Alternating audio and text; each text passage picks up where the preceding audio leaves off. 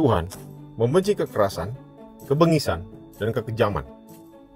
Kejadian 34 ayat 7 Sementara itu, anak-anak Yakub pulang dari Padang, dan sesudah mendengar peristiwa itu, orang-orang ini sakit hati dan sangat marah karena Sikem telah berbuat noda di antara orang Israel dengan memperkosa anak perempuan Yakub.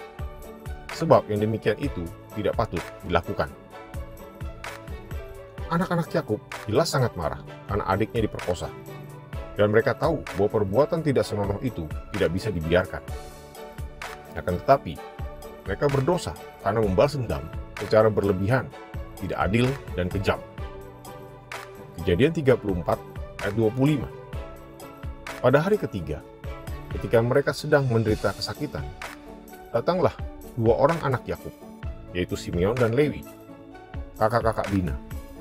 Setelah masing-masing mengambil pedangnya, menyerang kota itu dengan tidak takut-takut serta membunuh setiap laki-laki. Simeon dan Lewi bukan saja membunuh orang laki-laki dari kota itu, tapi juga merampas kota itu serta menawan wanita dan anak-anak. Tindakan kejam ini mengakibatkan Simeon dan Lewi hilang kepemimpinan dalam bangsa mereka. Allah membedakan antara perang yang sah dengan kekejaman yang semena-mena. Kejadian 49 ayat 5 sampai 7. Simeon dan Lewi bersaudara senjata mereka ialah alat kekerasan.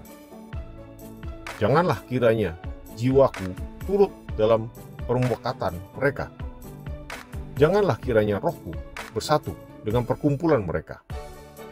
Sebab dalam kemarahannya mereka telah membunuh orang, dan dalam keangkaraannya mereka telah memotong urat keting lembu.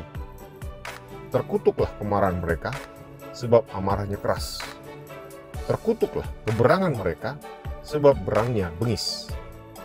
Aku akan membagi-bagikan mereka di antara anak-anak Yakub dan menyerahkan mereka di antara anak-anak Israel.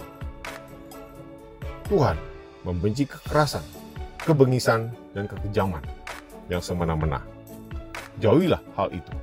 Semoga Tuhan Yesus memberkati.